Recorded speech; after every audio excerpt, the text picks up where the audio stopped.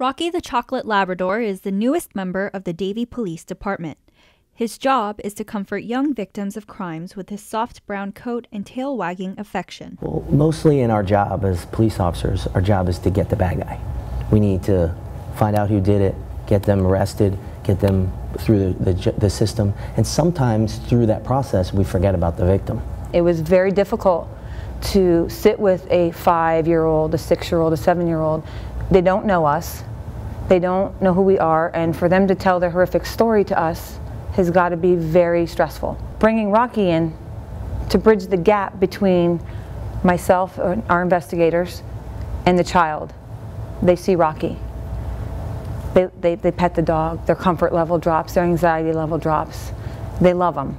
Well, already of seeing the success in just the short period of time that we have, this is going to be amazing.